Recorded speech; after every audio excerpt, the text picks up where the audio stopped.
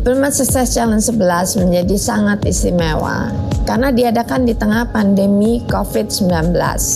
Kita semua tahu perubahan-perubahan yang terjadi di dunia ini sangat tidak bisa diduga jika ingin menjadi wirausahawan, memiliki kemampuan problem solver, memecahkan masalah, karena kita perlu inovasi, kita perlu agile mindset. Artinya kita perlu memiliki kemampuan sehingga kita mudah beradaptasi terhadap perubahan. Jadi kemarin yang sempat keganggu sih memang ke Snazzy Boom ini kan menggunakan agen dan reseller ya. Kita sama-sama tahu lah ya bahwa ketika pandemi semua toko offline diharuskan untuk tutup gitu.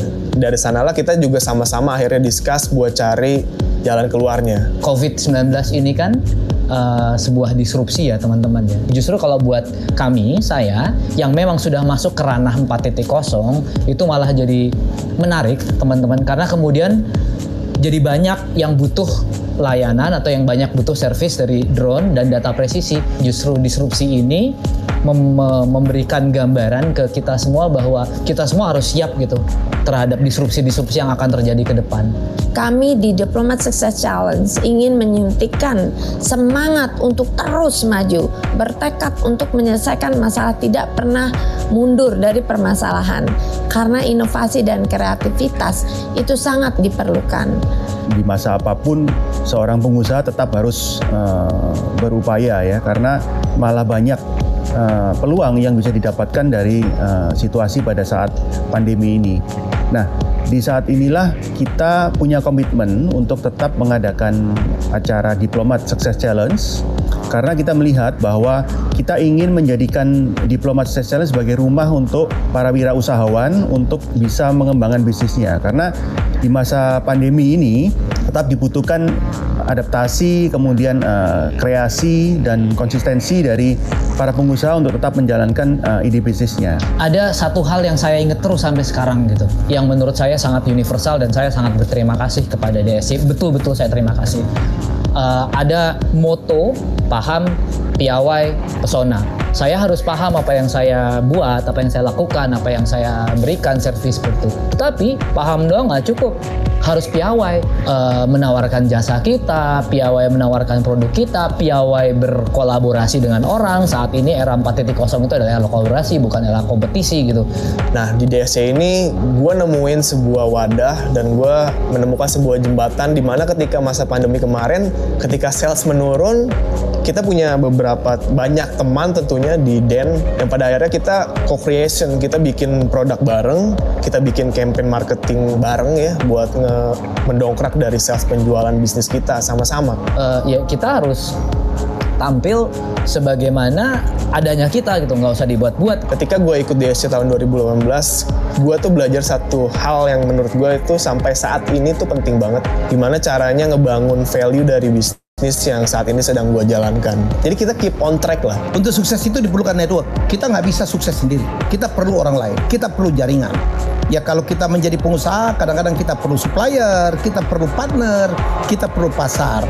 Nah, di Diplomat Success Challenge itu alumni-alumninya dikumpulkan di dalam sesuatu kumpulan yang disebut dengan DEN atau Diplomat Entrepreneur Network dan kalau kita kumpulkan di situ mereka akan saling membantu, saling mendukung.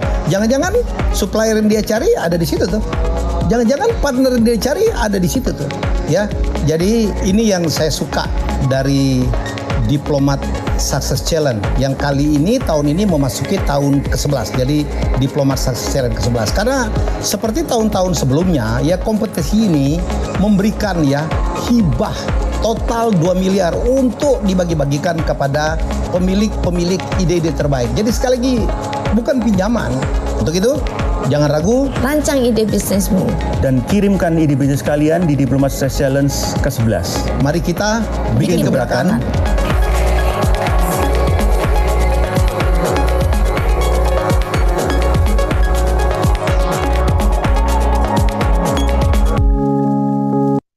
Spiritnya itu berangkat dari problem solver. Jadi ada masalah, uh, ada pemecahan gitu. Jadi selalu berangkat dari situ. Mungkin uh, secara nggak sadar uh, kami gitu merasa bahwa dunia kopi perkopian Indonesia itu punya problem juga ya, problem petani lokal, harga kopi yang rendah. Misalnya di M Block itu keresahan saya terhadap ruang publik sebenarnya. Kok Indonesia ini kok nggak ada ruang publik yang bagus gitu ya. Uh, yuk kita bikin gebrakan, uh, bikin solusi, uh, problem di sekitar kita banyak, bangun ekosistem dan kirim ide bisnis kalian. Teman-teman saya yakin punya ide-ide bisnis yang uh, bisa memecahkan masalah yang ada uh, ke DSC ke-11.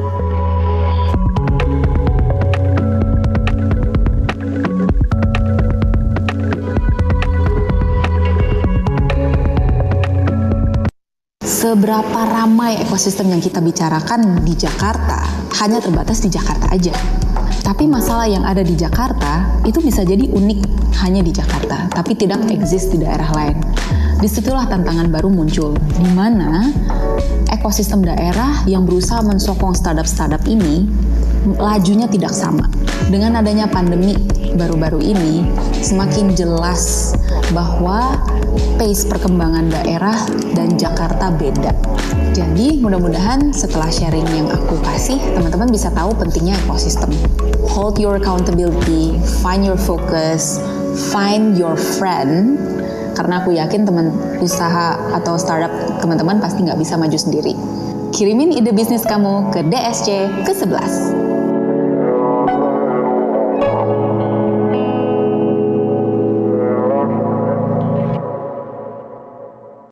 Tiga tahun pertama tuh kayaknya masa yang paling sulit ya uh, masa di mana kita harus survive mengedukasi pasar. Di saat pasar uh, makanan sehat tuh belum terbentuk seperti sekarang uh, kita banyak ngelakuin trial and error sendiri karena saya nggak ada background bisnis sama sekali. Jadi belajarnya dari melakukan kesalahan dan itu harganya mahal banget. Uh, jadi di tahun keempat itu tahun di mana saya mulai mencari mentor dan uh, mencoba belajar dari pengalaman dan kesalahan orang lain.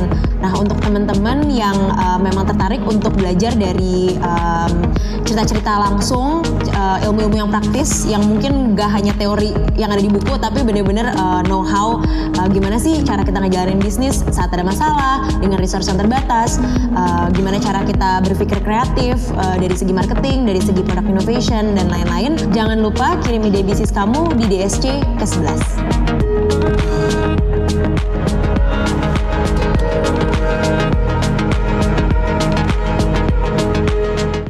setelah mungkin 2-3 tahun terakhir gue ngerasa ini kayaknya udah waktunya gue berbagi berbagi dari segi apa pun yang udah gue pelajari belasan tahun ke belakang jadi uh, mulailah gue dengan bikin yang namanya podcast.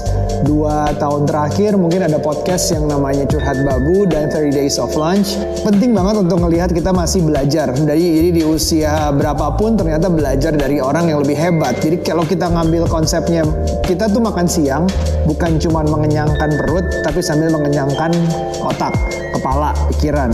Nah makanya kalau mungkin kalian ada yang mau untuk belajar bareng gue, um, kirim ide bisnis kalian.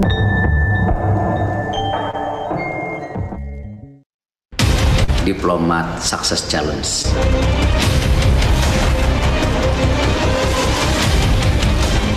Bikin gebrakan.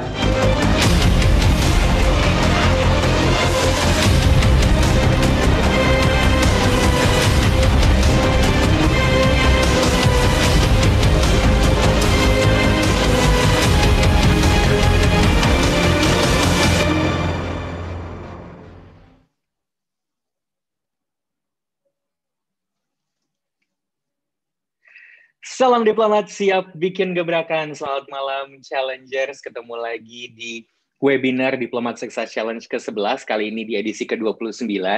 Masih bersama saya Wigraha Navia dan malam hari ini kita akan ngobrol-ngobrol, akan berbincang-bincang juga dengan tetap salah satu mentor nasional di DSC ke-11 ini ya. Uh, kita akan seru-seruan bareng karena topiknya juga pasti seru banget. Namun sebelum kita akan lanjut ke webinarnya, izinkan saya sekali lagi untuk mengingatkan kepada para challengers mengenai kompetisi DSC ke-11 ini. Diplomat Success Challenge merupakan sebuah semi-reality show kompetisi wirausaha yang memberikan kesempatan kepada seluruh kaum muda di Indonesia yang berani bikin gebrakan, yang berani berwirausaha, mencoba untuk menyelesaikan masalah dengan ide bisnis kreatif mereka. Nantinya di akhir kompetisi, para challengers akan berkesempatan untuk mendapatkan hibah ya hibah modal usaha senilai total 2 miliar rupiah. Tentu saja hibah ini nantinya bisa digunakan untuk mengembangkan bisnis ataupun memvalidasi ide atau konsep bisnisnya gitu. Dan tidak hanya itu, nantinya para challengers juga akan mendapatkan akses untuk masuk ke dalam sebuah wadah, sebuah forum bernama Diplomat Entrepreneur Network atau DEN di mana ini sudah berdiri selama 10 tahun, isinya itu adalah semua alumni dari challengersnya DSC. Di sini kalian bisa saling bertukar informasi, bisa sharing best practice tentu saja, atau mungkin mau mencari partner untuk bisnis baru, bisa juga di sini gitu. Nah, untuk bisa mendapatkan ini semua, tentu saja para challengers harus bisa mempresentasikan ide bisnisnya ke de di depan Dewan Komisioner Diplomat Success Challenge. Dewan Komisioner ini merupakan perpanjangan tangan atau perwakilan dari Wismilak Foundation dan mereka adalah Bapak Suryanto Yasa Putra selaku Ketua Dewan Komisioner DSC, kemudian ada Mas Helmi Yahya selaku public figure, dan ada juga Ibu Antarina SF Amir, beliau merupakan Direktur Pengelola dari Highscope Indonesia tidak perlu khawatir, aduh stres mikirin gimana caranya bisa presentasi yang oke okay di depan Dewan Komisioner, karena kita akan didampingi oleh empat orang mentor nasional yang sudah tidak perlu lagi diragukan keahliannya, pengalamannya juga luar biasa sekali. Mereka ini nantinya akan membantu challengers untuk bisa uh, mempersiapkan presentasi terbaiknya agar bisa nanti mempresentasikan ide bisnisnya di depan Dewan Komisioner. Para mentor nasional ini adalah Mas Handoko Hendroyono, beliau adalah co-founder dari Mblock Space dan Kebun Ide.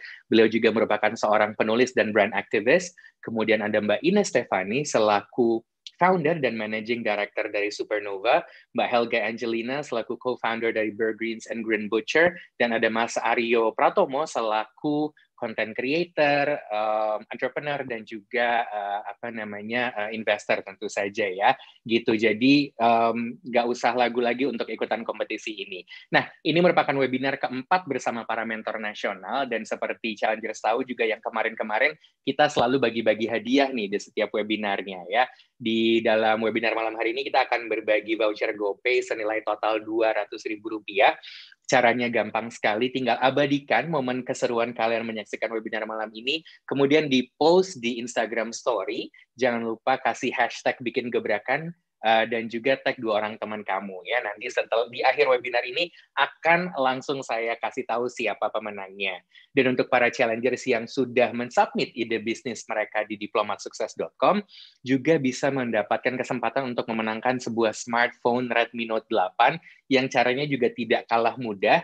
Hanya tinggal cari di Instagramnya Diplomat Sukses ada satu postingan spesial mengenai special gift. Kemudian nanti tinggal tulis di kolom komentar nama, nomor registrasi, serta tag dua orang teman kalian. ya. Kita akan tunggu sampai dengan tanggal 6 Oktober dan nanti pemenangnya akan diumumkan di Instagram Diplomat Sukses pada tanggal 7 Oktober. Jadi tunggu apa lagi langsung saja submit ide bisnis kamu ke diplomatsukses.com sebelum tanggal 19 Oktober ya. Sekali lagi submit ide bisnis kalian ke diplomatsukses.com sebelum tanggal 19 Oktober dan nanti ketika sudah sampai nih di bagian di mana kalian ditanya mengetahui informasi DSC dari mana, tolong jangan lupa untuk memilih Coworking Indonesia.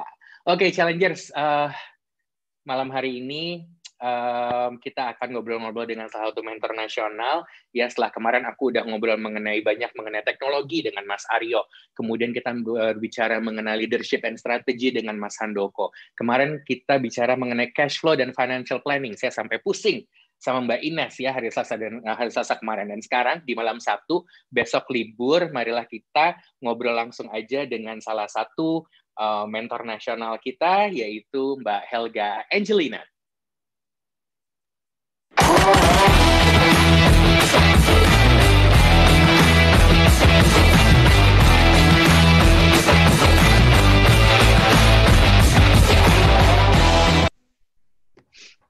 Halo Mas Figra. Hai Mbak Helga. Apa hai, kabar? Hai. Baik, apa kabar? Sehat-sehat ya. Alhamdulillah saya juga baik-baik saja. Alhamdulillah. Aku selain nanyain kabarnya Mbak Helga, aku mau nanya kabar yang satu lagi boleh nggak? Aku boleh nanya nggak kabarnya empok-empoknya bergreen school gimana sekarang? Sehat-sehat Sehat, sehat banget.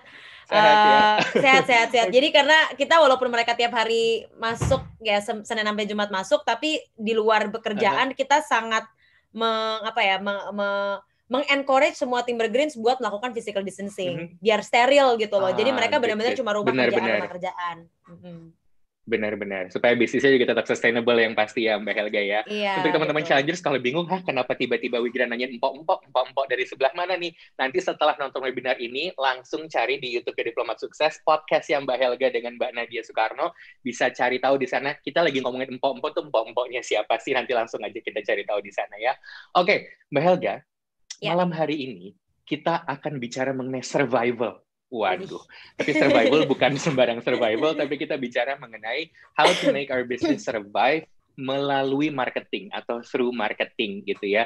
Uh, Mungkin kita tahu sendiri juga bahwa kalau kita boleh ambil contoh sedikit di masa pandemi seperti ini, tentu saja spending behavior orang berubah ya. Spending Ya. behavior orang berubah. Mungkin orang juga akan lebih memilih untuk spending di hal-hal yang mungkin lebih essential. Kalaupun mau agak eh, belanja-belanja atau makan-makan gitu ya, itu pun pasti mereka mencari satu brand yang top of mind gitu, yang udah tahu kalau makan enak ini, gue maunya ini, kalau mau beli baju ini gitu, yang top of mind gitu. Nah, supaya brand bisa top of mind itu kan pasti salah satunya juga dengan marketing strategi gitu. Nah, jadi mungkin sebelum kita masuk lagi ke marketing, marketing, marketing, menurut Mbak Helga sendiri, pandangan Mbak Helga mengenai sekarang spending behavior orang berubah di tengah pandemi, top of mind brand itu mungkin eh, gimana Mbak Helga?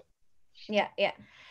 Eh, setuju sih sama Mas Wigra bahwa di masa kayak gini orang tuh mencari gini kan situasi ini membuat orang sangat nggak comfortable. Jadi saat mereka membeli, melakukan purchase, mereka akan mencari brand yang comfortable buat mereka, which is biasanya either itu Mhm. top of mind atau mereka udah punya relationship sama brandnya dan mereka suka dengan pengalaman mereka berinteraksi dengan Ya. brand ini sebelumnya gitu. Entah itu dari kualitas produk atau kualitas service atau eh, PR eh, atau brand reputation ini sendiri gitu. Jadi kan kalau ngomongin brand soalnya Benar. sebenarnya koneksi yang kita bi- build sama customer itu kan nggak cuma jual beli tapi ada emotional connection kan. Nah kalau kita selama ini Nah, brand yang membuat customer nyaman, pastinya di pandemi ini kita akan jadi brand yang dipilih over other brands yang eh, menjual produk yang sama gitu. Brand tidak hanya berhenti di transactional relationship, tapi kalau bisa go way beyond that ya, ada emotional attachment gitu ya dengan itu. Nah tentu saja kalau kita bicara hal ini tentu tidak jauh eh, lepas dari strategi marketing pastinya ya. Ya. Nah mungkin buat teman-teman challengers nih yang sekarang lagi nonton nih Mbak Helga dari kemarin nih, aku lihat nih, nih kita nih malam hari ini ada teman-teman dari Manado, ada dari Padang, ada dari Solo, ada dari Kediri gitu dan bisnisnya macam-macam. Kemarin kita ada yang nanya mengenai mulai dari bisnis organic skincare sampai jualan soto ayam tuh juga ada semuanya di sini. gitu. Ya. Jadi mungkin kita berbicaranya dengan terminologi atau dengan caveat yang lebih general. Ketika kita berbicara mengenai marketing, pasti ada perencanaannya. Mungkin Mbak Helga punya sedikit tips yang bisa di-share ke para challengers mempersiapkan eh, bikin perencanaan marketing itu seperti apa sih? Ya, ya, ya, boleh, boleh. Eh, Mbak Novi, aku kemarin siapin slide eh, untuk mempermudah aja nih pas sharing practical tips. Karena aku juga kalau belajar Oke. orangnya harus lihat visual, nggak bisa, nggak bisa ngomong doang. Oh harus lihat boleh ya. dibantu, iya. Benar, benar, Kalau aku harus ngelihat sesuatu, boleh dibantu kan Mbak di pull up? Yes, terima kasih Oke. banyak. Mbak Novi ini Oke. adalah mimin cantik kita yang Mimin siap cantik kita ya. membantu ya. Oke, Oke, Mbak Novi boleh ke next slide nggak? Oke, jadi em, menurut aku sih Mhm. basic paling dasar lah ya untuk kita membuat marketing plan itu kita harus mengerti 5P yang ada di sini Oke. nih. Ada di, di tengahnya. Jadi kita 5P. mulai dengan di tengah purpose atau tujuan dari brandnya.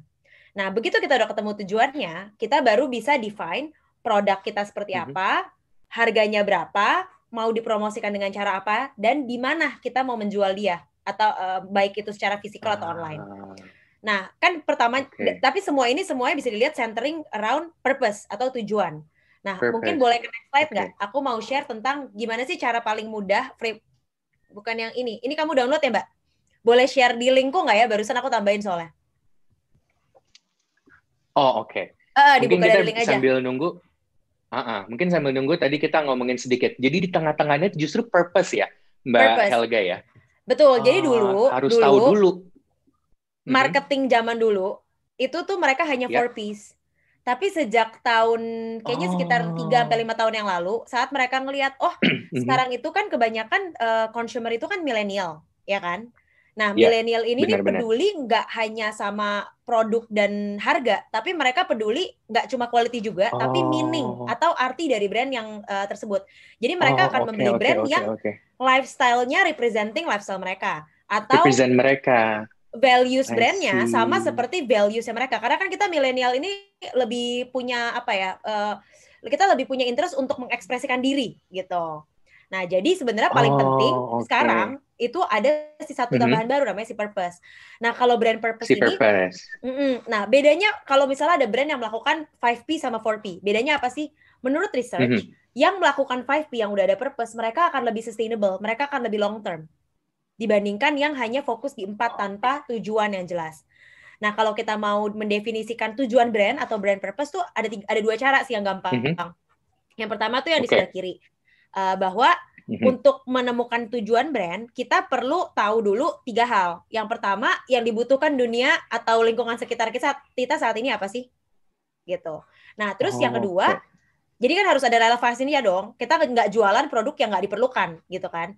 Terus yang kedua adalah Oke. kita sebagai founder atau sebagai tim, kita bagusnya di mana? Misalnya, yang dibutuhkan negara adalah organic skincare misalnya, Eh, di- dibutuhkan eh, Misalnya. masyarakat urban misalnya. Aku nggak punya Iya. kemampuan untuk memformulasikan brand skincare, aku nggak bakal masuk ke bisnis itu, gitu. Jadi kita juga harus lihat kapasitas kita. Oh, Oke. And then yang berikutnya, Oke. nah ini juga penting adalah kita sebagai founders tuh passionate tentang apa? Karena kalau kita passionate sebagai founders, creative thinking, inovasi itu akan muncul dengan sendirinya. Karena kalau kita passionate, kita nggak perlu Ah, disuruh oke. pun, kita akan mikirin hal itu terus-menerus, ya kan? Cuma kalau misalnya, kalau jadi kalau kita passionate, chance kita untuk bisa sukses di Mhm. inovasi, di kreativitas itu pasti lebih tinggi. Dan eh, kalau lagi ada Oh, masalah, oke. kita lebih bisa resilient gitu, karena kita actually bener-bener suka Bener. ngelakuin ini, nggak cuma karena misalnya Iya, uang iya, doang iya. atau cuma lihat opportunity di pasar. Benar-benar. Nah, di antara Iya, tiga iya, ini iya. kalau berselisihan, ketemulah kita brand purpose gitu. Nah, Brand cara yang purpose. kedua itu pakai yang the golden Oke. circle. Ini yang yang bikin Simon Sinek Mhm. Uh, terkenal banget lah ya di dunia Oke. marketing. Nah, kalau dia itu Iya, iya, iya. uh, bi- bilang pokoknya kalau brand-brand zaman dulu, mereka taunya adalah what, mereka itu uh, ngejual apa atau apa yang mereka lakukan, Ngejual and then apa? how. Mereka melakukannya gimana caranya. Tapi brand yang akan build to last adalah brand yang mulai dengan why. Kenapa sih gue mendirikan brand ini? Dan ini tujuannya nggak bisa cuma sekedar mencari uang. Karena kalau sekedar mencari uang, ada banyak cara yang jauh lebih gampang mencari uang dan lebih mudah daripada membuat usaha sebenarnya. Jadi why-nya harus kuat supaya kalau ada masalah kayak pandemi sekarang kita nggak gampang menyerah karena kita punya reason yang lebih penting daripada sekedar uang gitu. Nah dari why baru Oke. gimana Ini menarik. caranya, Mm-mm. Mm-mm, baru ke Benar-benar. Ini menarik jual. sekali kalau benar. Ini menarik menurut aku karena eh maksudnya gini, aku dibesarkan di keluarga yang eh, kalau dari sisi ayah corporate man, Hmm. all in all corporate man. Ibu Mm-mm. saya itu berdagang dari zaman dulu.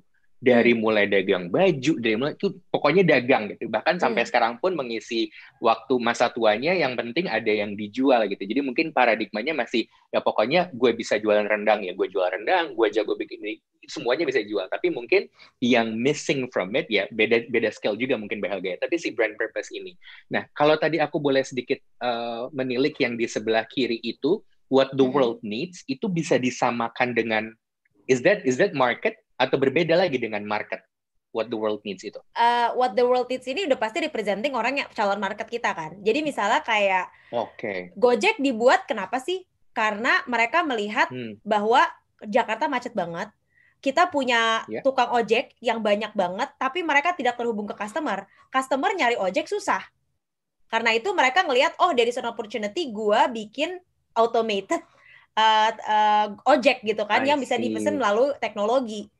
Itu kan the world needs it, Oke, and then oke. gara-gara dibutuhkan sama banyak orang, jadinya begitu mereka luncurin, ya marketnya banyak. Ya. Jadi itu at the Ya, same, ya, jadi kita ya, kita ya. ngelihatnya opportunity di pasar, tapi at the same time yang solving problem juga gitu loh. Nah, Oke. semakin Um, painful mm-mm. problem yang kita solve, semakin mungkin produk kita tuh laku. Oh, Kayak rumah sakit deh ibaratnya. Ya kan rumah sakit kan mahal. Iya, iya, iya. Tapi kalau orang udah sakit dia nggak mungkin nggak beli kan, nggak mungkin nggak Ya datang ke rumah sakit. Uh-uh. Betul. Jadi karena painnya udah paling tinggi tuh kalau rumah sakit gitu. Benar, benar, benar, benar. Nah, tapi kan mungkin tidak, maksudnya gini, do you think do you believe in bahwa tidak semua orang mungkin punya an eye atau punya sense nih untuk ngelihat si needs yang ada di sekitarnya ini gitu karena kayak misalnya kalau kita bicara uh, Nadim gitu ya mm. I mean we know that he's very brilliant dan mungkin dia punya sense yang lebih gitu mungkin ada tips gimana sih sebenarnya kita apakah harus lebih peka misalnya dengan sekeliling harus ngobrol sama orang kah atau gimana kalau menurut Mahelda? Uh, kalau aku biasanya mulai dari diri sendiri kita tuh sebenarnya passionate-nya okay. kenapa apa yang kita passionate about dan apa yang membuat kita yeah. frustrasi. Nah, misalnya apa yang membuat terus dari itu dari yang membuat kita frustrasi, apakah ini frustrasi banyak orang? Kalau ini frustrasi banyak orang, yeah. Kemungkinan besar yeah. ini dibutuhkan sama dunia. Kalau aku kan kayak berangkatnya yeah. buat bergreens itu karena aku sebenarnya frustrasi diri sendiri ya. Aku tuh uh, pemakan Bener. makanan sehat, tapi aku ngerasa ya. makanan yeah. sehat di Jakarta tuh waktu itu nggak enak banget, variasinya dikit banget dan mahal banget. Terus tempatnya okay. tuh menurut aku boring. Jadi aku sebagai orang yang makan sehat susah ngajak teman-teman yang nggak makan sehat untuk makan di tempat yang aku pingin. Untuk makan sehat. Ah, exactly. Iya iya iya. nah benar, akhirnya makanya kita kepikiran ide makanan sehatnya dikemas menjadi comfort food tapi di recreate dari bahan nabati sama organik. Supaya terus tempatnya dibikin enak buat nongkrong gitu loh. Jadi kalau aku ngajak keluarga aku hangout di situ mereka mau karena emang rasanya harus enak yeah, gitu kan dan iya, iya. tempatnya juga enak gitu. Jadi dan itu aku mulai dari okay. keresahan diri sendiri sebenarnya oh ternyata keresahanku dipunyai banyak orang, banyak orang mau makan sehat, tapi mereka ngerasa rasanya either gak enak atau variasinya kurang banyak gitu. Yeah. Menarik sekali berbicara mengenai kefrustrasian diri sendiri gitu karena kalau boleh eh, share juga apa namanya pengalaman pribadi, saya sebagai uh, rakyat mungil ya alias rakyat yang badannya mungil banget gitu ya itu juga punya frustasi sendiri nih bagaimana mencari masa gini I think saya sebenarnya punya sense of fashion yang fashion yang sebenarnya cukup oke okay. tapi saya tidak bisa menemukan baju yang bisa cater my size begitu saya ketemu satu brand ini yang bisa cater itu dengan gayanya yang pas it has been sekarang saya langganan di brand yang sama untuk semua pakaian saya itu sudah lima tahun Wow. Dan saya well, nggak yeah, pernah belanja exactly. di tempat yang lain gitu loh. Ya, berarti mereka menemukan what the world needs meskipun itu niche group ya. Yang Mas bilang barusan niche, sama bener. yang aku betul yang yang bisnis yang aku lakukan juga it's a niche but growing group betul. gitu bahwa makanan sehat waduh tujuh okay. tahun lalu mah belum ada lah marketnya kayak sekarang gitu kan. Cuma it was very niche okay, tapi okay. orang jadi cari karena nggak banyak yang offer gitu. Bener. Dan loyal. Kalau niche Jangan, brand itu biasanya loyal begitu tahu kebutuhannya apa dan tahu teman-teman challenger semua bagusnya di mana, jangan takut untuk kemudian memulai, jangan takut kemudian untuk bisa uh, bikin gebrakan gitu ya, mm, sesuai mm. dengan temanya DSC ini dan kemudian bikin usahanya. As long as kita punya purpose-nya, kita tahu kita bagusnya di mana, kita tahu passion kita di mana. Uh, karena kita juga sudah sering dengar kalau kita passionate in doing something, kayak nggak kerja. Karena itu sebenarnya kayak, ya, yeah, that's because we like doing it. Betul. Nah, cuma aku mau nambahin right. poin tentang yang Mas Wigra kasih mm -hmm. contohnya. Kan Mas Wigra bilang, yeah. Mas loyal banget sama brand ini karena brand ini menyelesaikan mm -hmm. masalah Mas di mana susah nyari uh, baju yang fashionable dengan ukuran yang Mas mau.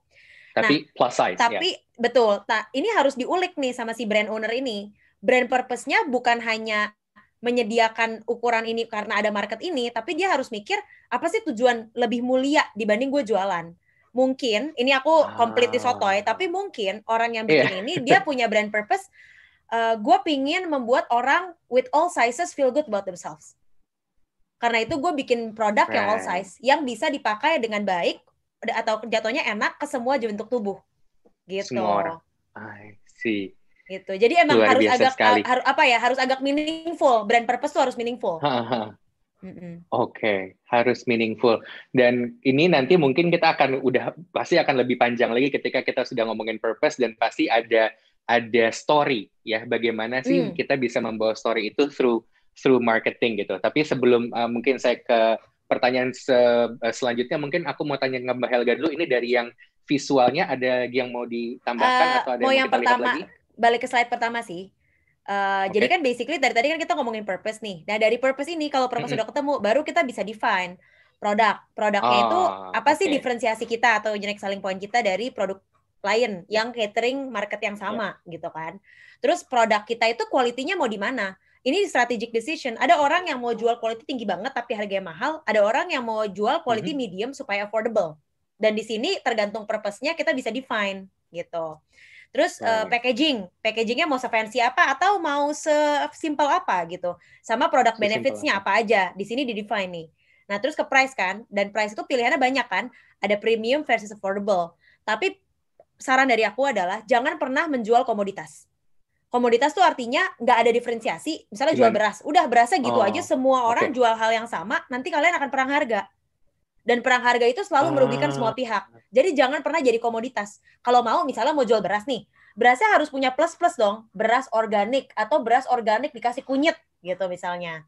Jadi di sini eh, apa namanya Oh, oke. eh, jangan mau ja- jadi komoditas karena kalau mau komoditas pasti harganya Benar, bakal eh, perang-perang terus.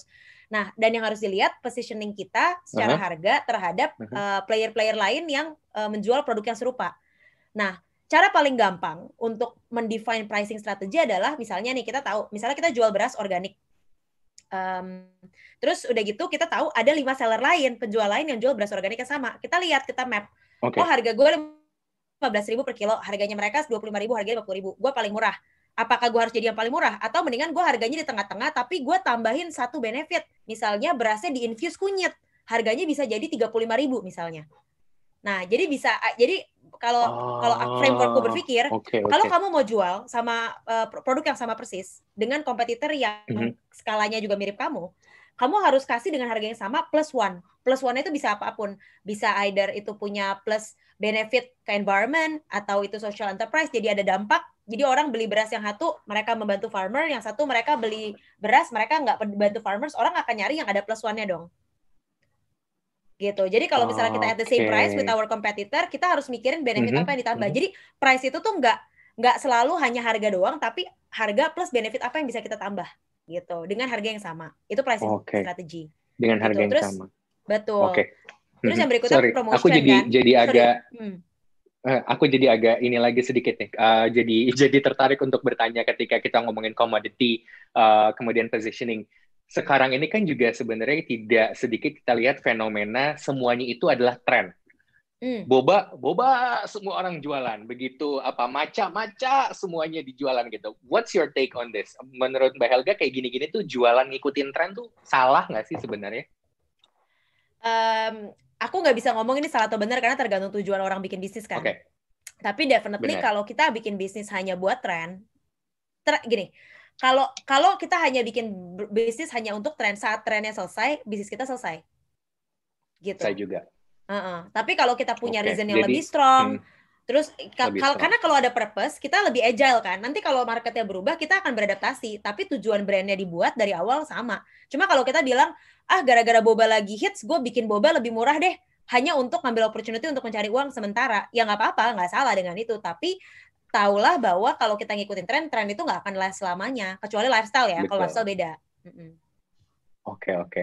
Nah, all this apa namanya positioning, kemudian tadi memiliki satu tambah plus satu itu tentu saja harus dikomunikasikan mungkin melalui promosi lah gitu ya. Hmm. Um, ada tips atau ada uh, apa namanya perencanaan yang harus dipikirkan juga nih sebelum uh, buat para challenger sebelum apa namanya melakukan activity promosi ini. Eh, iya kalau promosi kan sebenarnya kita eh, bisa pilih channelnya apa, key messagingnya apa, eh, dan lain-lain kan. Nah jadi oke. eh, Iya, mungkin iya, iya. framework yang paling gampang itu pakai eh, 5W1 4W1H ya. Jadi kita mikir pertama who, target market kita siapa sih gitu kan. Iya. Eh, Mhm. Contohnya Mhm. misalnya produk kecantikan berbahan natural. Itu produk yang aku pakai soalnya. Target targetnya mungkin perempuan, orang yang health conscious atau eco conscious kan. Ada mereka peduli Yeah. lingkungan atau mereka peduli kesehatan biasanya atau yang kulitnya Yeah. sensitif gitu.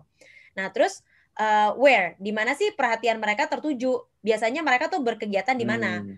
Misalnya mereka berkegiatan dulu di kantor sebelum pandemi, sekarang mereka kebanyakan online, Zoom, terus mereka pasti sering buka sosial media gitu.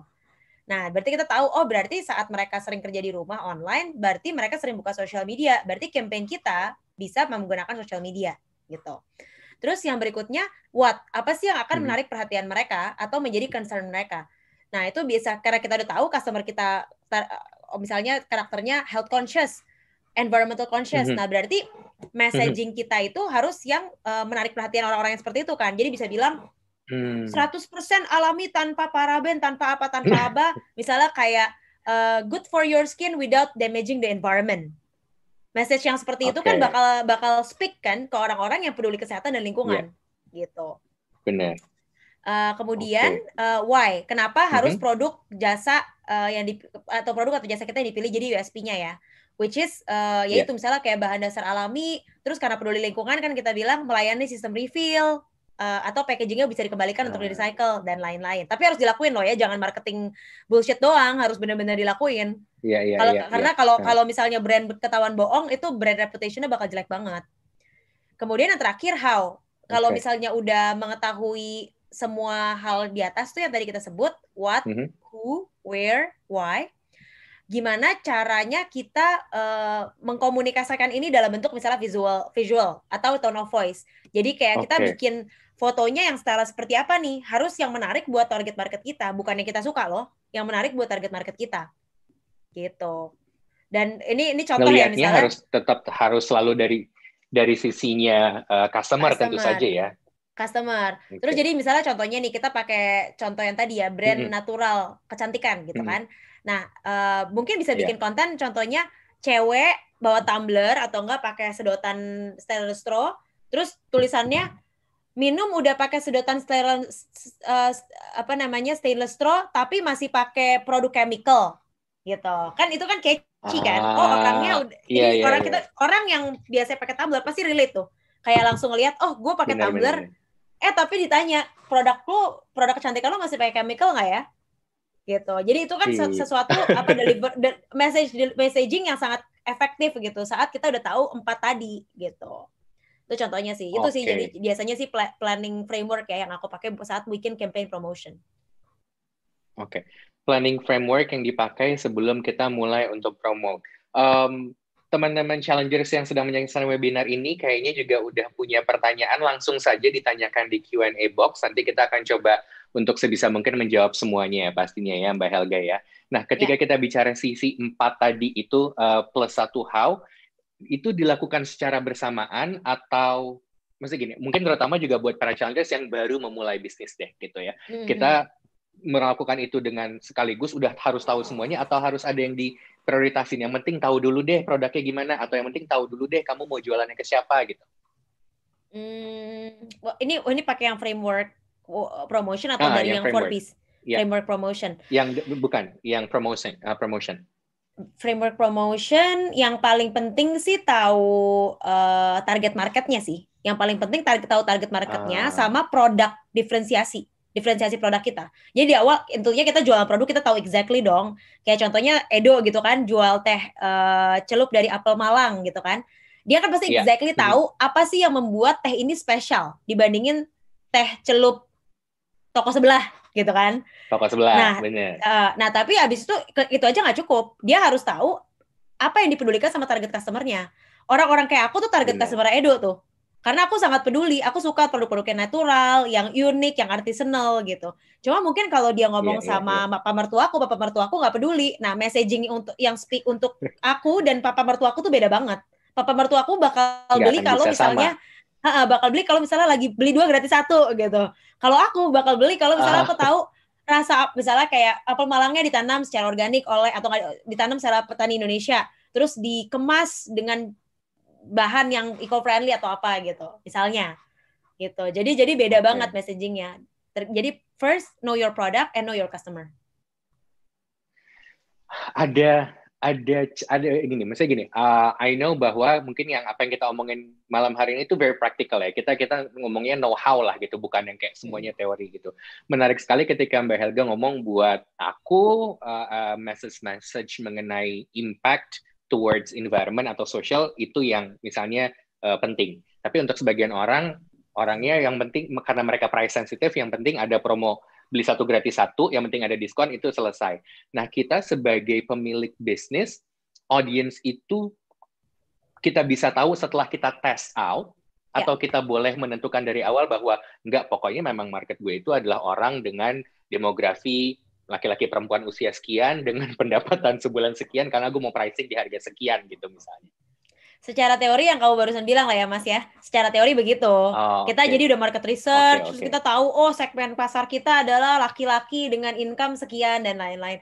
Tapi pada kenyataannya Ah. teori penting buat jadi basis asumsi kita. Tapi habis itu kita harus trial. Mhm. Kita trial, misalnya trial jualan Ah. dulu berapa bulan, habis itu kita analisa datanya. Actually yang beli beneran cowok, yang gue target atau cewek ternyata yang beli.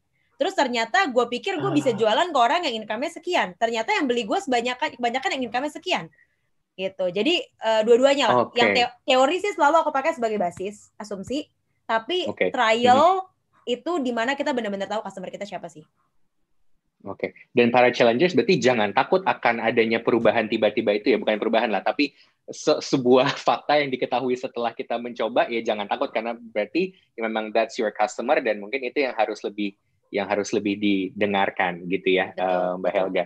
Saya sebenarnya mau lebih ngomong lebih banyak lagi mengenai bagaimana kita membawa sebuah cerita, bagaimana kita membawa sebuah misi brand ke dalam eh, promotional activity atau marketing strategy. Tapi mungkin sebelumnya aku mau jawab satu dua pertanyaan dari teman-teman challengers boleh ya, eh, Mbak Helga ya. Yang pertama, nah ini dia dari Laura Diorani Sitompul. Bagaimana cara mempromosikan usaha kita yang baru saja dimulai dengan minim modal? Hmm. Produknya apa? Boleh tahu nggak? Maksudnya makanan atau Wah, dia- kayak atau Um, nah, oke mungkin kita akan minta Laura untuk ada follow up ini Ah. sementara kita parking kita ke pertanyaan berikutnya ya. Kalau Boleh. gitu ya. Oke, eh, berikutnya M Abdul Rohim Rizki. Perkenalkan saya Rohim. Izin bertanya cara menentukan market harus pilihan mass market atau niche market kah? Terima kasih. Again, tapi ini tergantung produknya ya. Helga Iya. ya kayaknya ya. tergantung produknya tapi aku bisa kasih beberapa pola Hmm. ini kali ya cara pandang lah cara Sure, pandang oke Ya. niche atau mass modal kamu segede apa kalau modalnya gede silahkan ke mass market tapi kalau modalnya kecil mendingan selalu mulai dengan niche market karena saat kamu mulai dengan niche market dan kamu benar-benar satisfy uh, kebutuhan dan keinginan dari grup ini mereka adalah customer yang loyal yang akan membantu kamu berkembang secara organik untuk bisa masuk ke mass market nantinya Cuma kalau kamu adalah anaknya konglomerat A yang punya modal buat jor-joran begitu keluarin produk langsung bisa advertisement di mana-mana dan mass market bisa dilakukan gitu. Oke, cool. Jadi tergantung kita lihat sendiri ya. Kita lihat dulu ya model di baliknya itu seperti apa. Iya. Oke, em, Sama tadi Laura kan pertanyaannya gimana cara marketing produk yang baru mini modal. Nah, menurut aku produk ya apa pun produknya lah ya. Aku ideally kalau aku Iya, tahu iya. produknya aku bisa lebih banyak ngomong. Tapi kalau kita nggak tahu produknya, in general produk itu bisa dimulai dari word of mouth orang-orang terdekat kita dulu, teman, keluarga dan lain-lain. Mulai dari situ sekalian kita trial kan, feedbacknya gimana terhadap produk kita. Dulu tuh aku jualan, aku tuh trial bergreen 6 bulan. Aku kasih ke teman kosanku sama keluargaku tiap hari dari mereka bilang gak enak, sampai enak, sampai enak gara-gara dikasih terus. Nah, terus tapi dari situ pelan-pelan ada word of mouth tuh. Mereka ajak teman-temannya, keluarganya segala macam makan di Bergreens. Terus oke. udah gitu dari tentunya ada social media juga ya. Social media kan pull. Kalau yang satu Iya, word iya. of mouth gitu ya, kayak Benar-benar. spreading organically. Itu itu cara paling gampang untuk mulai Mhm. sih menurut aku social media sama eh, apa dimulai dari ter- circle terdekat. Oke. Ternyata Mbak Laura ini produknya jus. Jus, Nah, ya. Produknya ya, jus kalau minuman jus berarti. produk orang terdekat lah ya. Kamu kan bisa share WhatsApp group dulu. Yang pasti kamu punya WhatsApp group 200 kan. Nah, itu kamu mulai share-share dulu aja, suruh mereka cobain, kasih feedback dan lain-lain. Nah, itu menarik juga berarti sebenarnya di masa seperti sekarang ini di mana mungkin cara kita bercerita melalui marketing itu tentu saja terbatas ya dari sebelumnya gitu. Eh, kalau misalnya dulu kita bisa lebih langsung ketemu face to face sama mungkin customer kita, ngobrol langsung atau bikin activity kayak aku kemarin juga dengar di podcast sedikit spoiler buat yang belum dengerin podcast yang Mbak Helga adalah bikin banyak eh, event edukasi di Bergreens gitu ya untuk mengedukasi orang mengenai healthy lifestyle eh, apa namanya makanan dengan eh, base nabati kayak gitu-gitu. Tapi kalau sekarang nih ada keterbatasan Mbak Helga. Mungkin ada tips nggak ya? Apakah sebenarnya storytelling melalui marketing itu tetap bisa efektif dan tetap bisa punya impact yang besar di era pandemi seperti ini? Ya. Uh, bisa sih, selalu bisa ya menurut aku. Cuma bedanya mediumnya doang. Kalau dulu mungkin offline di hmm. event-event. Jadi kayak dulu kita bikin kelas berkebun, kelas masak sehat, dan lain-lain. Literally ah, physical okay. activity. Kalau sekarang ya kita pindah yeah. online formatnya, gitu. Oh, Jadi medium-medium yang berbeda. Juga, hmm, Oke. Okay. Dan itu berarti sebenarnya sebuah uh, sebuah pertanda juga bahwa challengers ini all aspects termasuk digital itu juga harus open arm menerima menerima itu. Dan that brings me to the next question dari uh, dari teman-teman nih. Ada satu Mas Sigit Setiawan, apakah berarti digitalisasi merupakan kunci agar UMKM kecil bisa survive di masa pandemi seperti ini? Salah satunya udah pasti ya. Digitalisasi. Salah satunya tapi, gitu ya, tapi, digital ya.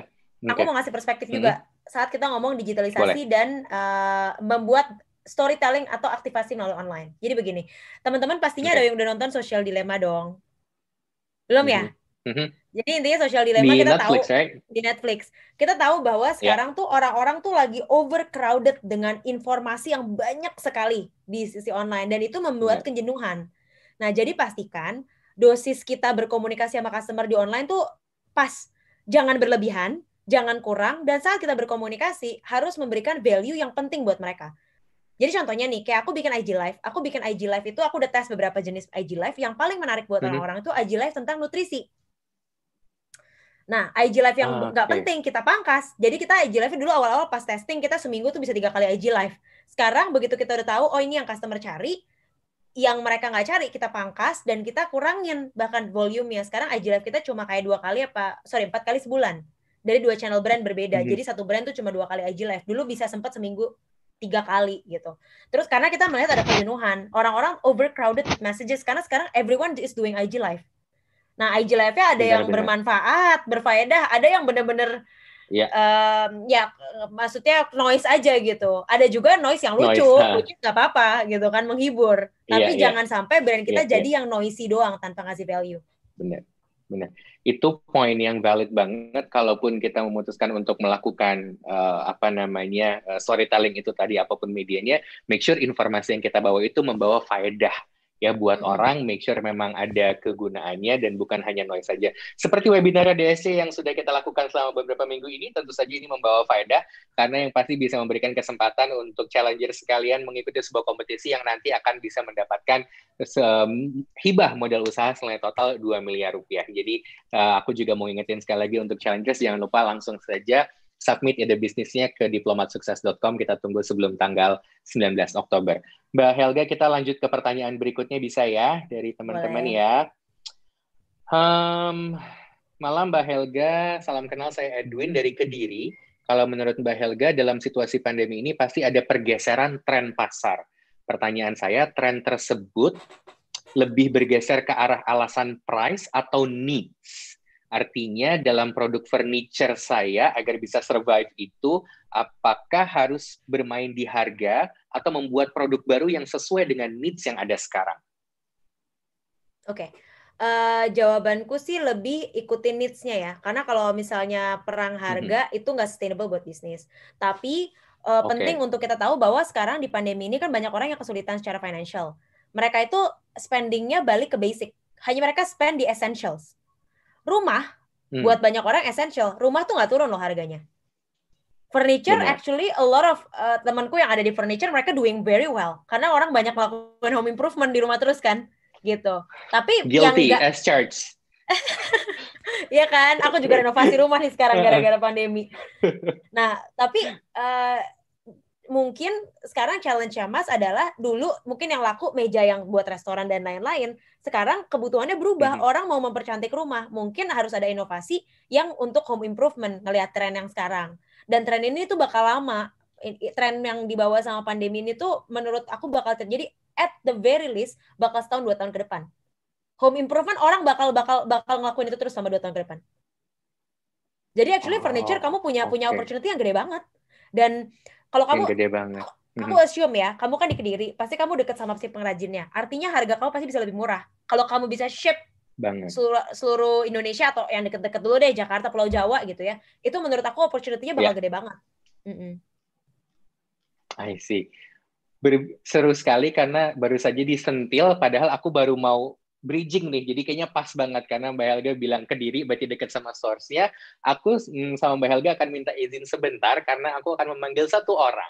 Satu orang yang merupakan salah satu peserta dari Diplomat Success Challenge tahun lalu, di mana dia ini uh, memiliki sebuah inovasi produk teh, ya jadi teh celup, tapi dari bahan bakunya itu apel dan melalui produknya uh, dia ini berhasil meningkatkan value dari buah apel dan membantu meningkatkan pendapatan para petani apel di Malang.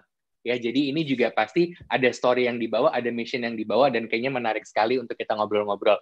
Aku boleh minta kehadiran Alfredo Dilan, founder dan, dan CEO dari Apel Celup. Halo Edo, boleh kasih tunjuk muka dan perdengarkan suaranya? Halo, salam Halo, diplomat. Edo. Selamat malam semuanya. Selamat malam. Mbak Helga ini adalah Edo. Mbak Helga. Hai Edo. Apple Celup.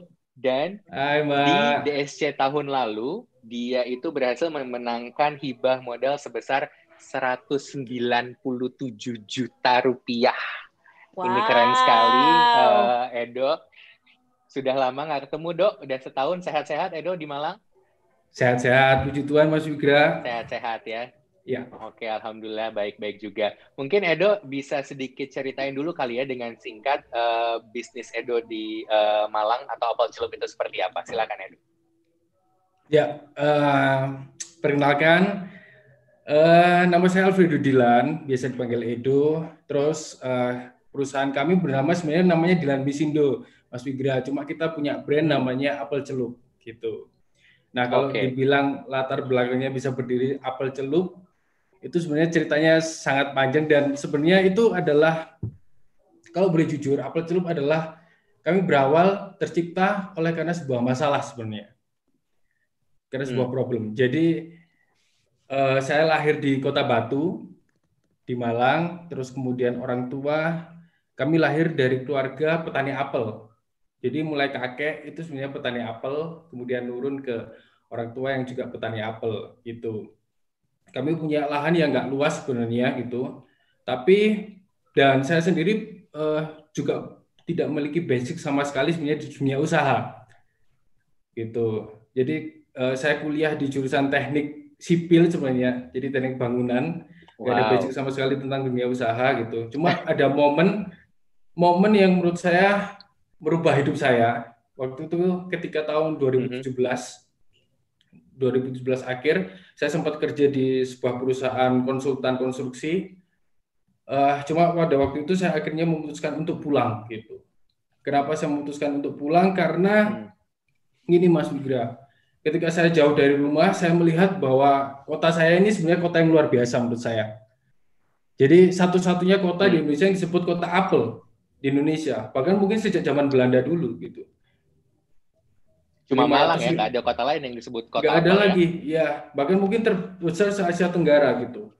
Tapi kalau kita melihat track record sejak zaman dulu sampai sekarang, kalau ditanya ada nggak tempat pengolahan apel di kota Batu yang representatif menjadi kota apel terbesar di Indonesia misalkan, itu masih belum ada.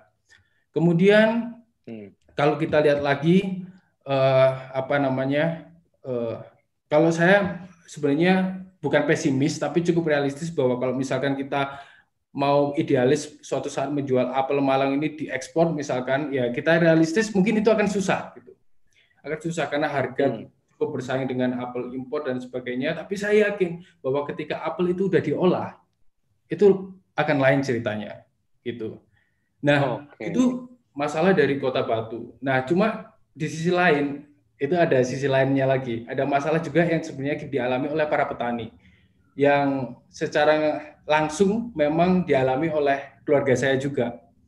Jadi apel itu ketika panen, Mas Wigra, itu itu mm -hmm. uh, harga ditentukan oleh grade, Mas Wigra. Jadi, oh, jadi apel itu ada grade-grade-nya ya? Ada grade-grade-nya gitu. Nah, ada okay. grade-nya, ada A, B, C dan sebagainya. Nah, hmm. harga di masing-masing grade itu sangat fluktuatif. Dan contoh nih, harga apel misalkan dengan hmm. kondisi yang sebenarnya cukup bagus, tapi hmm. secara fisik dia lebih kecil misalkan, nggak cocok untuk masuk supermarket hmm. misalkan. Itu harganya bisa sangat-sangat jauh, Mas Wigra. harganya Oke. sangat-sangat Dan jauh. kalau lagi panen terlebih lagi itu bisa turun banget ya. Kayaknya waktu itu Edo cerita berapa per kilonya? Dua, seribu, dua ribu, apa berapa 2000. gitu ya kalau nggak salah ya? Iya benar. 2.000 Jadi bisa sampai cuma dua ribu rupiah per Oke. kilonya. Nah, itu itu sangat itulah yang membuat kita sebagai petani itu kadang-kadang sering rugi di situ masalahnya. Karena kadang-kadang di grade yang Oke. tertentu itu itu justru, justru jumlahnya lebih banyak juga gitu. Dan harganya lebih murah. Nah, Oke. berdasarkan itu semua apa namanya? eh, kita akhirnya berpikir Mas Yugra, bahkan dulu waktu tahun Hmm. 2018 kalau nggak salah itu juga sempat viral bahwa kayak orang panen apel kemudian apelnya karena harganya sangat murah hancur akhirnya dibuang tuh di sungai gitu. Kalau nggak salah pernah ada artikel Oh. seperti itu gitu.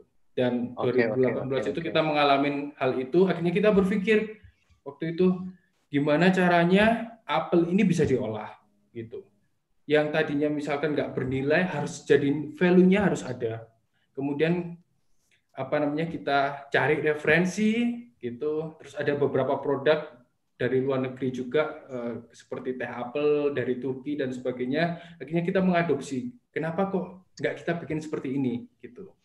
Yang apa namanya dengan produk yang seperti ini value-nya tinggi tanpa bahan pengawet apel bisa diolah bertahan lebih bisa sampai dua tahun tanpa bahan pengawet dan sebagainya. Akhirnya kita pilihlah produk namanya apel celup. Nah Apel celup. dari situ Nah ini ya, mungkin. Gitu dari situ Oke. dari produk yang apa namanya harga apel yang tadinya mungkin sangat-sangat rendah dengan nilai jual yang nanti kita Ya. bikin produk dengan nilai yang tinggi maka kita bisa nih ngambil apa ya apel dari petani lain petani lokal yang ada yang dengan harga yang pantas lah gitu setidaknya karena kami juga mengalami hal Ah. tersebut gitulah Mas Wigra Benar, benar, walaupun benar, mungkin cuma sedikit ya Ini Mas berarti ya Iya, iya. Ini berarti kayaknya sebenarnya apa yang tadi Mbak Helga omong ini kayaknya kejadian semua nih Mbak Helga di Edo. Karena Edo memulai dari frustrasi, Masalah. ya frustrasi Hmm. sendiri karena harga apel kalau lagi panen itu apa namanya turun sekali. Kemudian dari situ berinovasi, merubah si produk apel ini menjadi diolah menjadi apel celup sehingga punya value yang lebih. Tidak berhenti di situ, tidak hanya apel celup, tapi apel celupnya ada plus satu plus satunya lagi Mbak Helga karena ada rasa yang peppermint, ada rasa apa dan segala macam. Jadi kayaknya Edo sudah embodied dari eh, apa namanya surviving through marketing itu tadi. Ditambah lagi, mungkin sekarang saya juga minta Edo cerita sedikit. Em, cara Edo berkomunikasi juga kalau nggak salah nih Dok, ada YouTube channel ya mengenai kehidupan petani apel ya kalau nggak salah. Iya. Iya, iya. Mas Wigra. Bisa ceritain Jadi- sedikit Dok? Ya, jadi gini Mas Wigra, kalau ide itu sebenarnya muncul dari ketika kita menangani kebun apel, itu ada beberapa masalah juga ternyata. Jadi yang pertama adalah Hmm. regenerasi petani apel itu di daerah Malang, di Batu itu udah mulai turun. Nggak cuma petani Hmm. apelnya, tapi juga pekerjanya, Mas Wigra. Jadi Oke.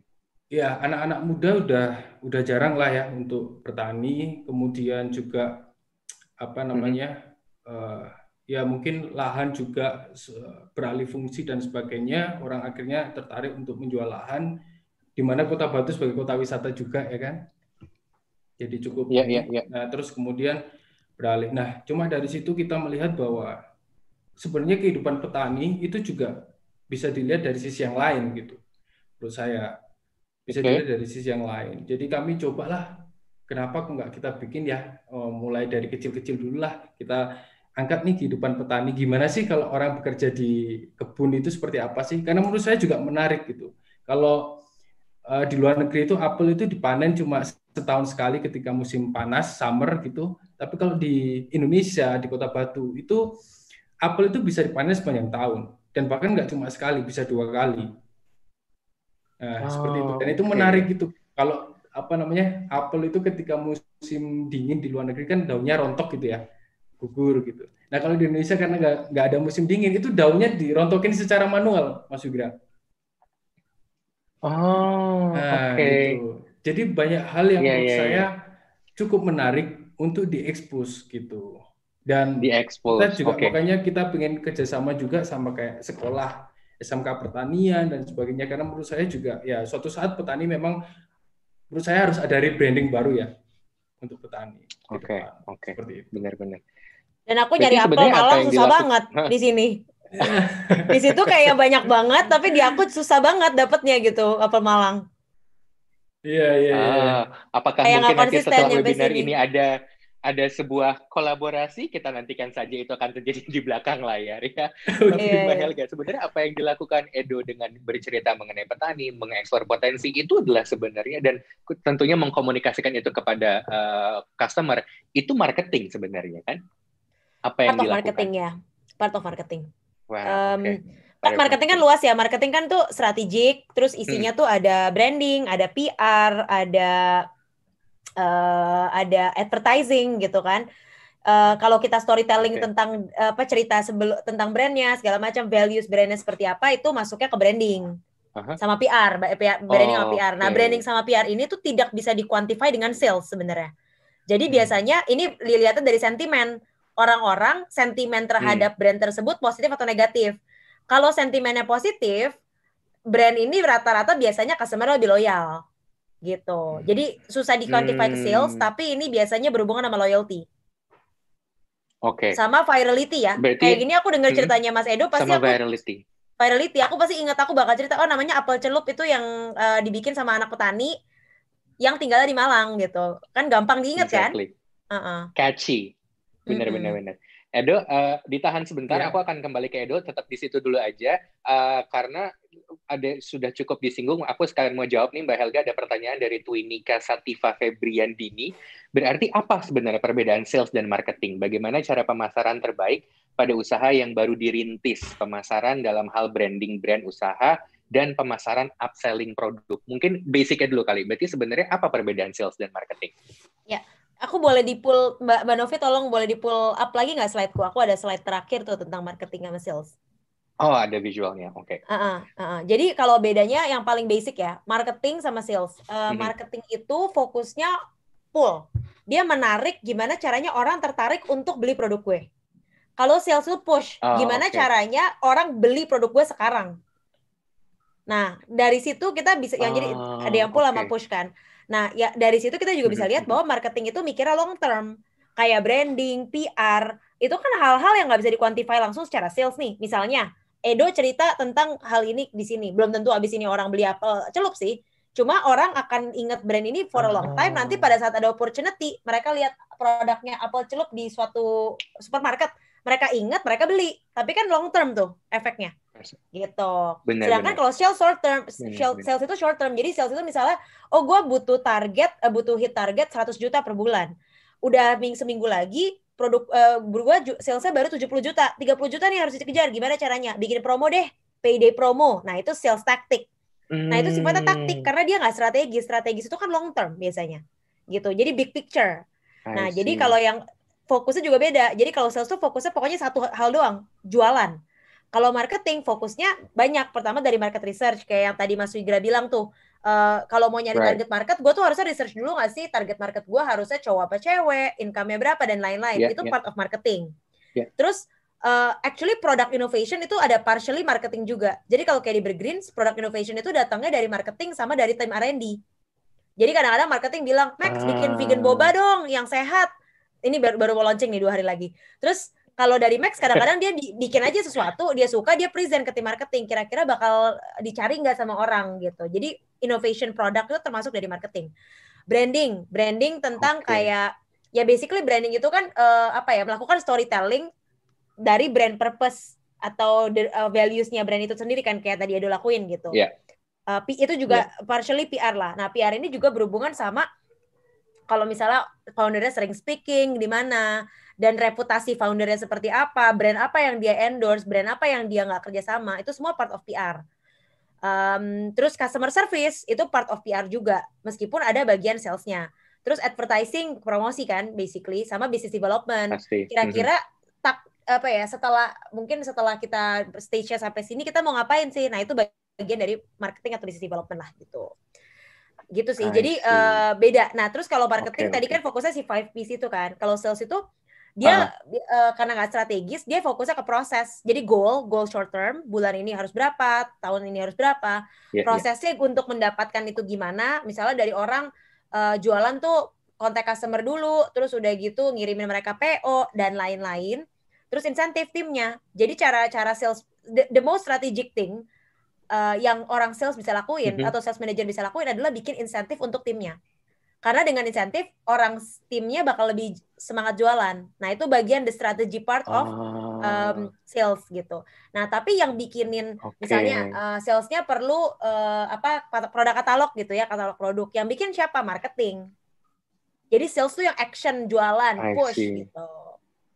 Iya, iya, iya. Berarti mereka sebenarnya juga ideally hand in hand, um, tidak boleh saling silo gitu ya. Kalau kita bicara tim gitu ya, nggak boleh silo, nggak boleh kerja sendiri-sendiri. Sales harus tahu marketing, marketing juga sedikit banyak harus tahu sales, sehingga semuanya bisa jalan bareng-bareng gitu Mbak Helga ya. Betul. Dan kalau perusahaannya masih kecil, mungkin Oke. marketing sama sales ini satu orang kali kepalanya.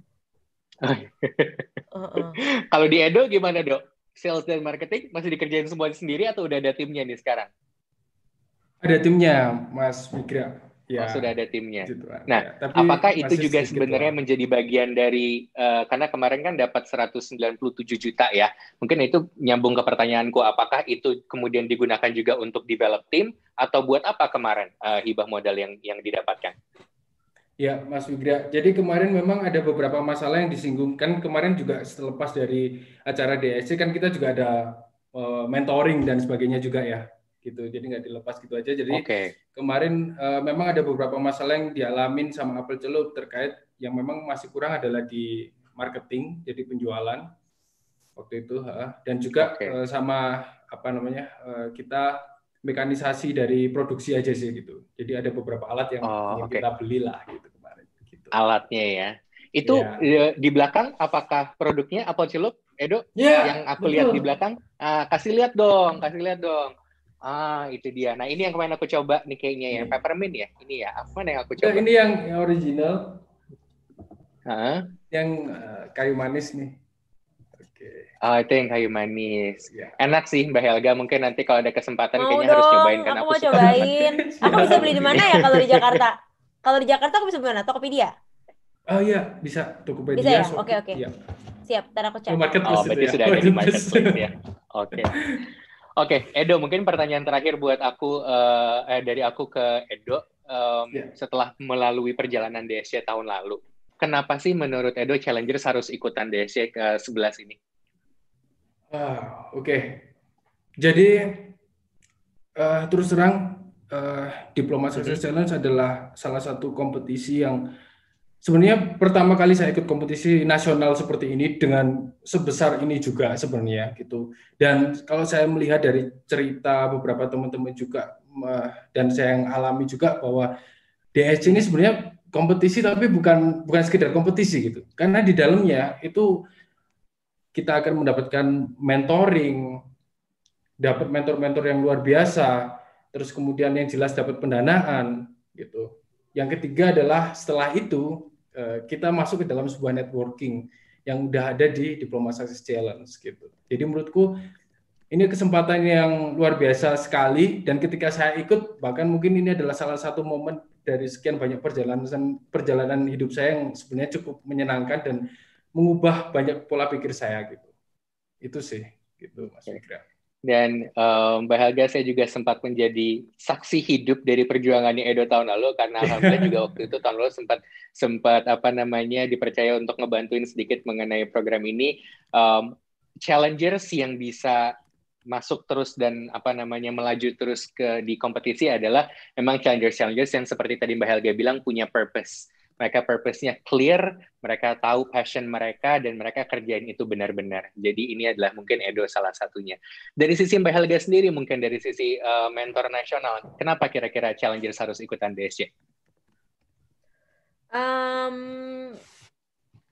menurut aku kayak tadi udah udah ter terkomunikasikan melalui videoku juga ya bahwa eh, kalau kita nggak ada Iya, iya. mentor kita tuh belajarnya dari trial and error sendiri bisa sangat mahal.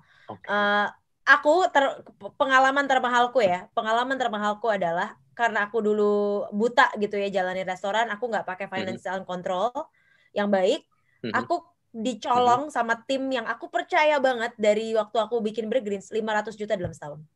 Itu adalah pengalaman termahalku yang benar-benar menampar aku Dan habis itu aku langsung bilang, oke, okay, gue harus ngerti semua part of the business. Dan cara kita belajar gimana? Kalau misalnya kita nggak belajar tentang itu, aku belajar communication sama marketing. I have no idea finance itu ya. gimana yeah. cara cara kontrolnya gitu kan. Ya aku cari mentor, benar, benar. aku cari mentor, aku ikut workshop. Dan kalau kamu ikutan DSC ini, basically kamu dapat itu semua for free. Kalau dulu aku harus bayar, aku bayar mentornya. Benar, gitu. benar, benar. Benar. Jadi ya, ini itu juga kemarin sempat di Benar, sempat disinggung juga sama uh, Mbak Ines Stefani, salah satu mentor kita, begitu ada kelebihan uh, apa dana masuk gitu secara bisnis, apa sih yang harus dilakukan dulu? Cari mentor, cari mentor dan belajar. Bicara soal mentor, sebagai salah satu mentor nasional DSC tahun ini nih, Mbak Helga, kira-kira kenapa sih teman-teman challengers harus memilih Mbak Helga sebagai mentor di kompetisi DSC tahun ini? um, sebenarnya sih teman-teman mau pilih mentor yang mana aja boleh, tergantung kebutuhan lah ya, tergantung yeah, iya. kebutuhan. Uh, yeah. Cuma kalau mm-hmm. misalnya uh, teman-teman mungkin banyak pertanyaan di area marketing, business development, mm-hmm. branding, iya. promotion, yeah. gimana cara mengembangkan bisnis yang niche dengan modal yang terbatas, gimana cara mempromosikan produk secara kreatif, gimana cara berkolaborasi dengan brand atau influencer, itu aku bisa bantu. Jadi tergantung kebutuhan teman-teman sih. Cuma kalau teman-teman kebutuhannya di situ, aku bisa membantu lah sharing tentang pengalaman-pengalaman yang aku sudah lakukan selama tujuh tahun terakhir ini mengembangkan bisnis dari satu cabang ke sebelas cabang dan uh, sekarang uh, launching produk FMCG gitu. Masih masih belajar juga, tapi aku definitely bisa sharing banyak. Gitu. Oke. Okay saling sharing tidak hanya dari kesuksesan tapi juga dari kegagalan atau kesalahan yang pernah dilakukan sebelumnya. Kayaknya Edo udah sampai mau bikin bisnis baru lagi demi mau ikutan DC yang tahun ini kayaknya. Jadi untuk teman-teman challengers jangan ragu, silakan saja langsung submit ide bisnisnya ke diplomatsukses.com dan untuk lebih tahu lagi detailnya caranya gimana sih untuk mendaftar, kita saksikan video yang berikut ini. Hai challengers. Langkah-langkah yang harus diperhatikan saat mengisi form Diplomat Success Challenge. Pertama-tama, pastikan koneksi internetmu stabil. Jangan lupa siapkan KTP, link Instagram, dan link akun Facebook kamu ya. Buka website diplomatsukses.com. Lalu, mulai dengan klik tombol login. Register terlebih dahulu bila challengers belum memiliki akun dengan memilih opsi belum punya akun. Setelah terdaftar, silakan login dan kamu bisa mulai mengisi proposal. Ada delapan tahapan yang perlu challengers isi. Dimulai dari informasi data diri kamu. Perhatikan cara penulisan link akun Instagram dan Facebook kamu. Klik tombol selanjutnya untuk mengisi data di form berikutnya.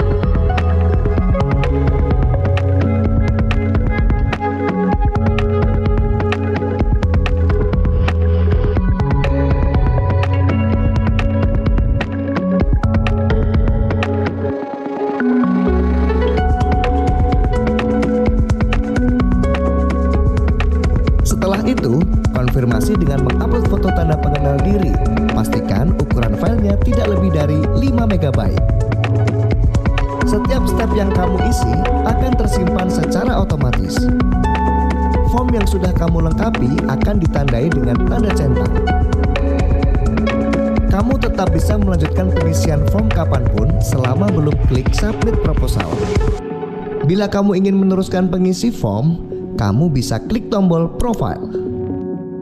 Pastikan kamu sudah mengecek kembali data-data yang akan kamu submit karena setelah proposal yang sudah disubmit tidak dapat diedit lagi. Setelah selesai mengisi semuanya, akhiri dengan memilih opsi submit proposal. Jangan lupa simpan nomor proposal kamu setelah melakukan submit ya. Semoga proposal kamu yang terpilih.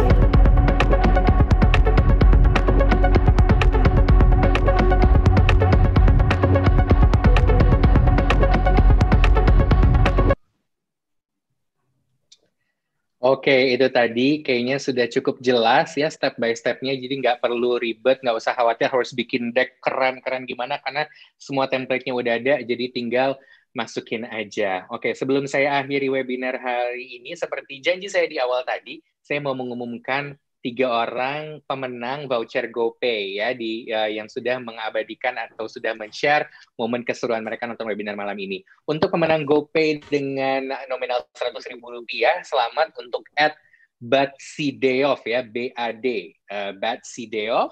Dan kemudian untuk pemenang GoPay Rp50.000, masing-masing ada at Fadilah underscore Ulfa 25 dan juga at Dioranilora96.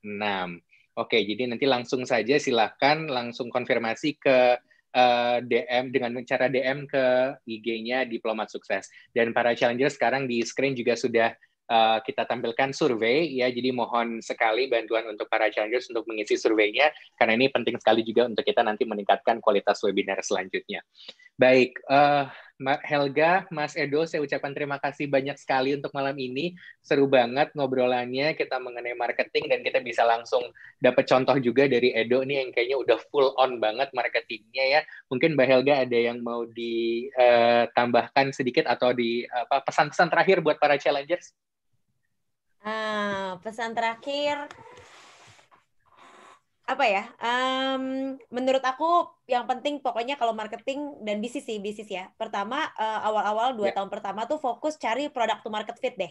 Jadi uh, cari gimana caranya okay. produk kita sesuai banget ses uh, mm-hmm. dengan market yang kita layani gitu. Sampai ini cocok banget gitu.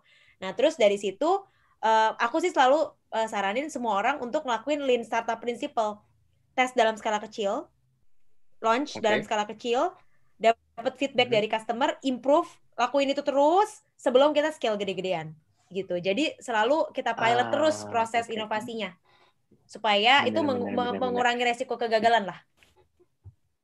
Benar-benar. Jangan langsung gede aja, kecil take feedback, kecil take feedback, digulung terus, di roll terus, pasti lama-lama juga nanti akan menjadi besar. Terima kasih sekali lagi Mbak Helga dan Mas Edo. Uh, saya juga mengucapkan sedikit, saya mau minta maaf kepada para challengers yang sudah ngasih banyak sekali pertanyaan malam ini sebenarnya Mbak Helga, tapi kita nggak bisa jawab semuanya karena keterbatasan waktu. Jadi mungkin nanti bisa langsung colek-colek either mentor nasionalnya atau colek-colek IG-nya diplomat. Uh, siapa tahu nanti kita bisa jawab di sana. Terima kasih sekali lagi Edo dan juga Mbak Helga untuk para challengers semua. Terima kasih sudah menyaksikan webinar malam ini. Ketemu lagi di webinar selanjutnya. Salam diplomat, siap bikin gebrakan. Bikin gebrakan. Thank you. Dengan adanya dampak COVID-19 ini, kondisinya off, kita nggak punya klien sama sekali. Kita tahu banyak orang kehilangan kerjaan. Jadi penting banget untuk seorang entrepreneur untuk menemukan ekosistem bisnis yang cocok untuknya. Platform yang tepat tersebut bisa ngecek teman-teman benar nggak sih kamu tetap konsisten terhadap problem-problem yang sudah kamu tentukan untuk diselesaikan. Kita perlu banyak inovasi-inovasi gitu, yang akhirnya kita bisa uh, memenangkan cobaan ini gitu ya. Yang penting kita sama-sama uh, bekerja sama, bekerja keras, gimana caranya untuk keluar dari pandemi ini. Makanya jangan takut untuk mulai bikin gebrakan. Lebih dari sekedar menjadi problem solver, kami ingin menyuntikkan semangat agar wirausahawan bangkit dan pulih kembali. Kami sangat menyambut ide-ide bisnis yang memiliki potensi untuk berkembang. Kompetisi ini memberikan ya hibah total 2 miliar untuk dibagi-bagikan kepada pemilik-pemilik ide-ide terbaik.